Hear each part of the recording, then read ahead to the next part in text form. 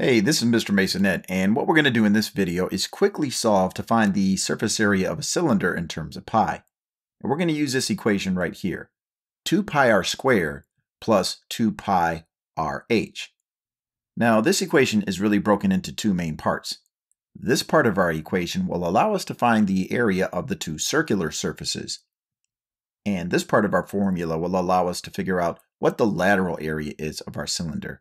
And remember, the lateral area just means the side of the shape. So what we're going to do first is identify the value of the radius and the value of the height in this problem.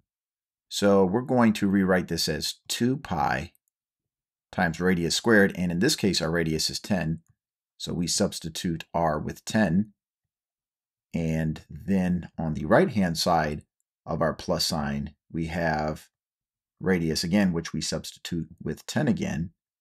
And we have to multiply that by the height of the cylinder, which is 25 centimeters. All right, now that we have plugged all of our values into the appropriate places, what we're going to do next is simplify the left-hand part of our equation before this plus sign here and simplify everything to the right-hand side of our plus sign.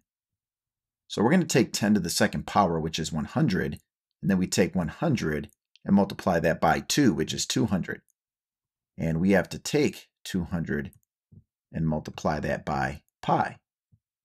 And 200 times pi will give us the area of the two circular surfaces. And to the right of our plus sign, we have to multiply 25 times 10, which is 250, and 250 by 2, which is 500.